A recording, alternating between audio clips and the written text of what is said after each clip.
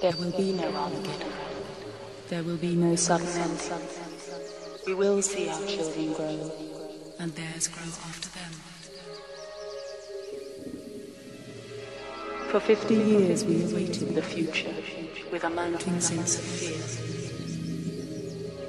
Our path to the next millennium seemed certain to be lit by the bright lights of a nuclear But now, as we raise our eyes, we see that we have almost made it to the year 2000 and beyond.